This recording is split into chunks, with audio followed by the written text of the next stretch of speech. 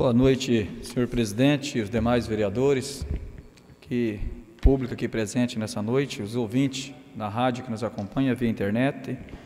Também um agradecimento especial a todos os guairenses que se encontram nesse plenário e também aos agricultores nessa noite de hoje. Para mim é uma honra, a gente como também da área rural, fico feliz quando vejo agricultor vindo presente na sessão principalmente acompanhando o trabalho de cada vereador. E aí o Laércio, da área rural, o seu Mário, aí também o Sirineu, o Arlindo, o João Eudes, da comunidade do São Luís, Água do Bananal. Muito importante, eu acho que aí a visita de vocês a essa casa. Também já para começar aí, senhor presidente, eu queria agradecer aí o pessoal da DRT, Guaíra, todas as meninas, aí onde que no último final de semana participaram da Expo Moarama, aí levando o nome do nosso município mais uma vez, que estão sempre na região é, fazendo essa competição da prova dos três tambores. É um esporte aí que está tá aí incentivando bastante os jovens. E aí também eu queria desde já agradecer e passar o nome delas, são a Jéssica, a Dávila, a Maria Gabriela e a Júlia, aonde que a Dávila ficou em segundo lugar da categoria Jovem B e a Maria Gabriela em primeiro lugar na categoria Principiante e a Júlia ficando aí campeã da Principiante também. Então, esse pessoal aí só temos agradecer ao município onde que vocês estão levando aí o nome do nosso município, cada evento fora aí que vocês estão indo, com certeza está anunciando o nome de Guaíra, e muitas vezes a gente vê Guaíra sempre noticiando coisas negativas, coisas ruins, e tão bom as pessoas, quando vocês chegam nesse lugar lá, é, ver essa jovem, esse pessoal se destacando aí no esporte. Como agora, final de semana, vocês vão ter lá em Iporã, né? Então, parabéns aí todas essas pessoas, vocês, meninas, essas jovens, lindas meninas, né? Que estão aí levando o nome do nosso município. Muitas jovens aí, a gente vendo, caindo por outro lado, como mexendo com drogas, enfim, outros descaminhos, coisas erradas. E vocês aí focado no esporte, focado aí levando o nome do nosso município. Meus parabéns a todos vocês. Também eu queria, desde já, falar da minha indicação, das duas indicações apresentadas na noite de hoje, que são a indicação de número 58, aonde que a comunidade do Espírito Santo, juntamente com a parte do Oliveira em torno e também da comunidade de Salamanca, onde me procuraram, aonde que o cascalhamento do Espírito Santo até o Oliveira se encontra de situação meio complicado, bem fraco, também aquele cascalho, onde que o ônibus, quando chove muito, tem até dificuldade para ter rodando, e também o caminhão de leite. Então esse trecho onde que eu solicito melhorias, já faz muito tempo que não foi dado esse reparo nessa estrada. Então, onde que o ônibus, muitas vezes, perigoso é ter sair fora da estrada e assim causando acidente com essas crianças. Então, estou encaminhando ao setor competente e também outra indicação de número 57, aonde que a comunidade da Vila Eletrosul me procurou também, os moradores, mais da parte do aeroporto, ali próximo ao CTG, onde que solicita uma caixa d'água naquela parte mais alta, porque é onde que muitas vezes está faltando água nas residências, são 20 famílias em torno ali que mora, e quando o nível da caixa d'água, da Eletrosul, caixa principal, ela abaixa, a água não dá nível para chegar até esses moradores. Aonde que solicita aí é que seja implantada, colocada uma caixa de, de 15 a 20 mil litros de água, assim, para mandando água para os demais familiares aí de entorno aí da Vila Eletrosul. Também não poderia aqui de deixar aqui de parabenizar os homenageados nessa noite, a moção. Aí, senhor presidente, eu só gostaria que o senhor eu, eu já, já pedi para a PM passar aqui, para já está chegando um recurso para tirar ele. Ok. Tá. É, os homenageados, famílias aí que se faz presente também, homenagem feita para o senhor Newton, também para o senhor Alfredo, juntamente com Jorge. Meus parabéns aí. Muito importante essas famílias, pessoas que fizeram história no nosso município, ser lembrado. O bom mesmo seria as pessoas ser homenageadas em vida, né? Mas os familiares, assim, com certeza é, estão felizes, vão ficar felizes também de ser lembrado dessas pessoas que fizeram a história no nosso município.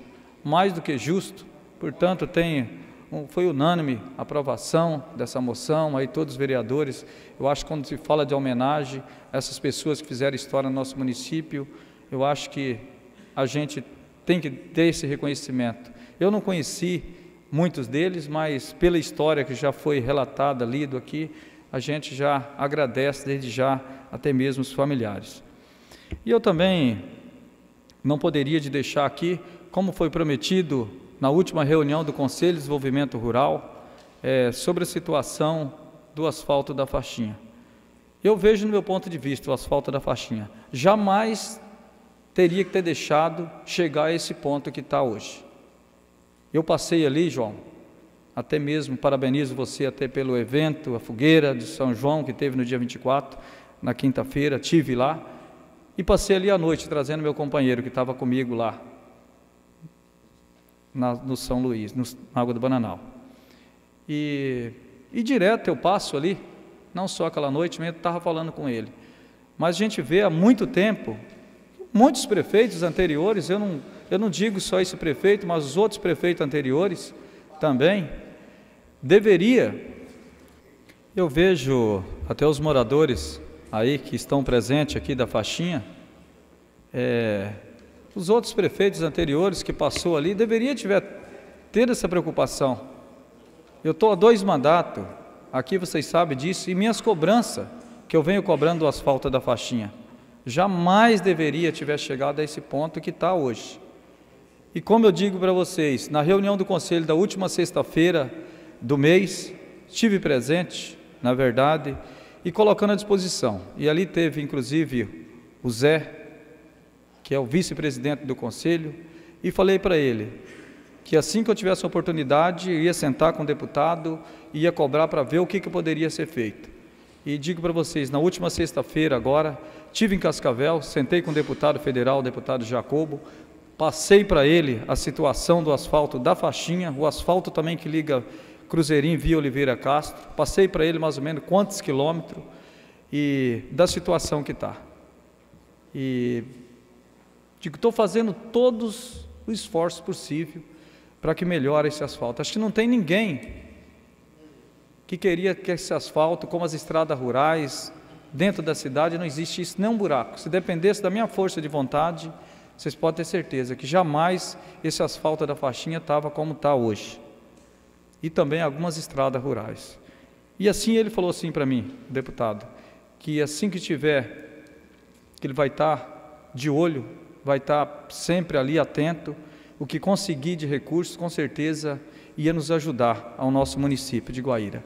Tanto que eu coloquei também para ele a situação também que sobre os hospitais, nós também não tem nenhum hospital no nosso município que está abrindo associação, assim se ele conseguisse algum recurso para poder mandar para o nosso município na área da saúde e também como do asfalto, pavimentação, que ele ficasse meio em alerta e enfim puder ajudar o nosso município. Então digo para vocês, eu fiz e estou fazendo aquilo que eu posso.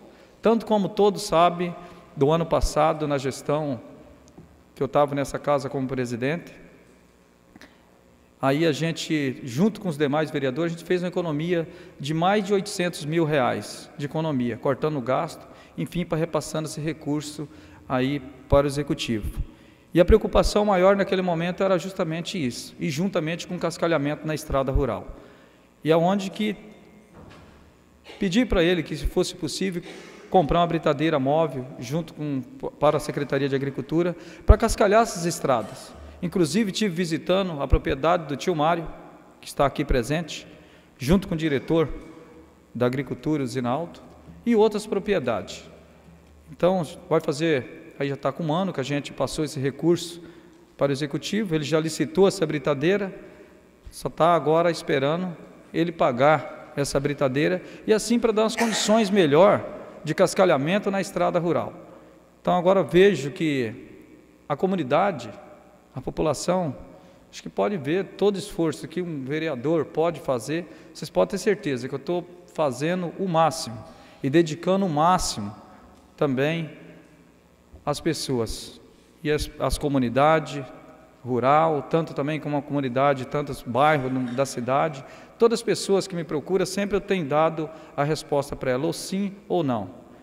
E quero agradecer todos os lugares onde eu tenho passado esses oito anos que está indo de mandato, o carinho que as pessoas têm comigo e têm entendido também a função do vereador e a função como que funciona na verdade é um processo no poder legislativo.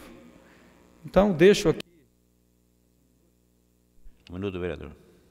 Fica inteira aí à disposição da comunidade e direi para vocês minhas prestações de contas ao meu trabalho como vereador, sempre estarei prestando à comunidade e quero continuar assim e também continuar andando de cabeça erguida, sem poder ter vergonha de olhar na cara de cada um das pessoas.